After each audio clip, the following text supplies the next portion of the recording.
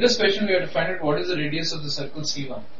If you look at the first statement, the difference in the circumference is k centimeters. So 2 pi r1 minus 2 pi r2 is equal to k centimeters or 2 pi into r1 minus r2. This statement alone is not sufficient to find out what is the value of r1.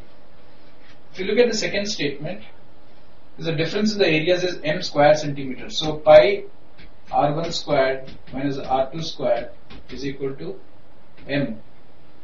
So pi r1 plus r2 into r1 minus r2 is equal to m. So independently it does not give me the value of r1 but the moment I combine these two conditions we can find out what is the value of r1 and r2 by solving the two equations that we'll get. Hence by using both the options we'll be able to both the statements we'll be able to find that the answer is D.